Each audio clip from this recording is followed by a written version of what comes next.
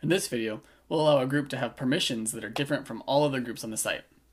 And before we begin, I'm going to enable the basic page content type to be able to be posted to a group. I've shown you two ways to do this for the article content type in the videos Organic Groups Basics and Organic Groups Field Settings, and you can follow those same instructions to do this for the basic page content type. Now that that's done, when Chelsea refreshes inside group number two, she can now create a basic page. I'm going to go ahead and do that.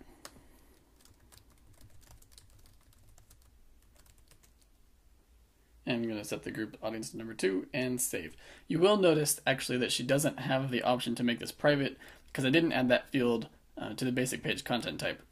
I do show you how to do that in the video Organic Groups field settings, so if you're interested, you can check that out.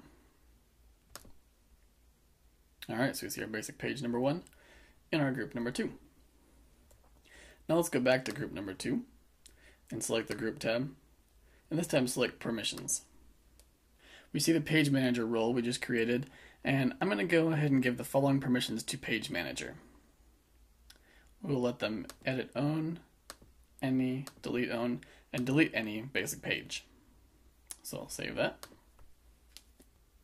And in order for this to mean anything, we need to have a user with this role.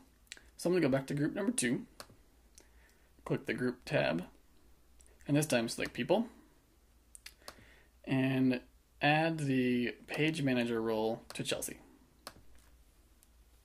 So now we see that she does have the page manager role. Now I'm actually going to go ahead and create a basic page as the administrator.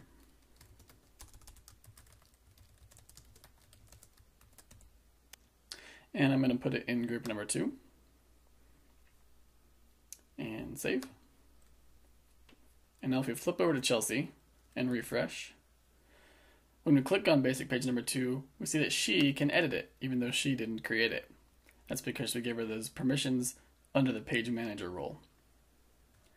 Now let's make Chelsea a member of group number one. I'll go to the group number one and select group and add people. I'll add Chelsea and add the user. Now if we flip over and Chelsea goes to group number one, she can create a basic page and she has the option to put this in group number one. This is because she has the site-wide permission to create a basic page uh, and she's also a member of this group. If you'd like to be selective about which members can post to your group and what they can post, watch the video Organic Groups Create Permissions.